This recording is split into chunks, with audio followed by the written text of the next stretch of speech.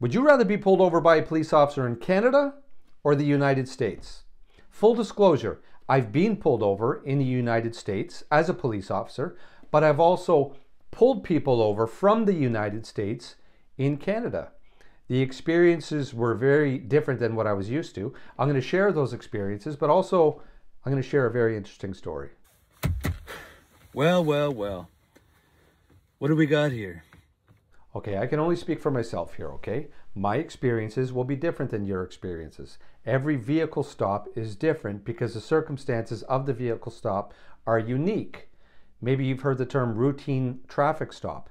You hear about that in the media and such. There's no such thing as a routine traffic stop because every vehicle stop is different. Different set of circumstances, different officer, different vehicle occupants, different driver.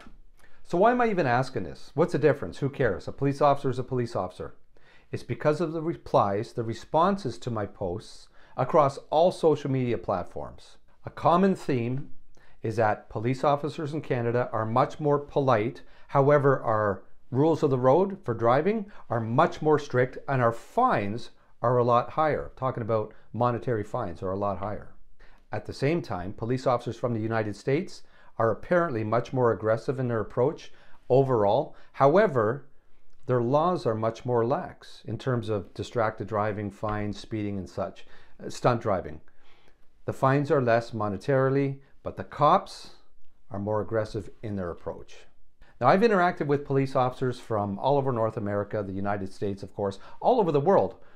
I would have to say that most of my interactions and the connections I've, that I've made have been with officers from larger cities or municipalities. Uh, not so much small towns where you would hear of a sheriff and deputy and such. Most of my uh, most of what I know about that is what I see in TV shows and in movies, like everybody else. I want to share a story of a vehicle stop that I conducted many years ago. It was in a residential neighborhood during the day. The driver, who was also the registered owner, and the passenger uh, were both from the United States. Anyways, the vehicle was going very slow. As I passed the vehicle, I noticed the windows were extremely dark. They were tinted to the max. I couldn't see inside. I did a U-turn and I noticed that the plates were from Florida. I initiated my rooftop lights. Uh, vehicle pulled to the right. Everything was great. As I approached the vehicle, both the driver's side front window and the passenger side window were down. The driver had one hand on the steering wheel and he was holding his wallet with his other hand. The passenger had both hands on the dashboard. I had no clue why they were like that. I mean, they were visibly shaken just by the whole interaction, even though they actually didn't do anything wrong. And they were a couple real nice guys. I had a great conversation. So I asked them, after just a little bit of small talk, what the deal was. And that's basically what they were expected to do in the area of Florida where they were at. And I'll say that after this whole interaction, there was no tickets given out, nothing. They were actually uh, looking for uh, an address. They had the street name right, but the wrong municipality. So basically, they were just lost. And, anyways, they uh, let me know that this was the most amazing interaction they've ever had with a police officer their entire lives. And I mean, listen, I guess so. Now, the last time I got pulled over in the States, was uh, I wasn't the driver. I was a passenger in the rear seat. There was a front seat passenger and a driver. Saw the lights. Driver was speeding. Got pulled over for speeding.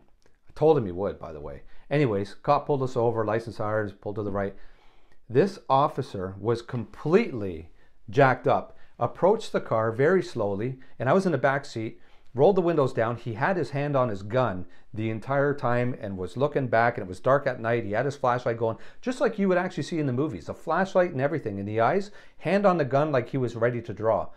Anyways, and which of course, what did that do to us? It it made it elevated my mood almost to where his was. Anyways, again, I'm not saying that this is where every cop, every police vehicle stop is in the States, but this was my experience. This was the last experience that I've had in the States long story short, we were let go. Um, speeding. Uh, I was a police officer. The there was another police officer in the vehicle, and uh, anyways, it was a great interaction. The driver was not a cop.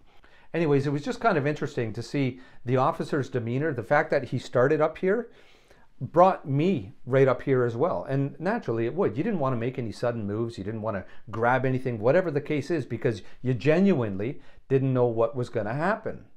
And it's one of those things where, you know, I've told this story a few times and other people have had somewhat similar interactions, but it always kind of made me think of how I would approach a vehicle and how I did approach a vehicle at a traffic stop and everything else.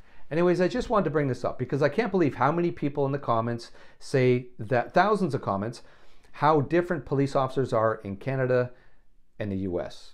Much more approachable in Canada. However, the fines are a lot more expensive for distracted driving and everything else. Police officers in the US, much more aggressive or unapproachable. However, you can get away with a lot more. If you have experiences you'd like to share, please leave a comment. If you're a police officer and you agree with me or disagree with me, or you just want to add to the conversation, please do so. A lot of times these videos, they lead to uh, a much broader conversation through podcasts and, and everything else, uh, which is certainly a good thing. Anyways, folks, be safe out there, drive safe, look after one another, and perhaps we will see you again.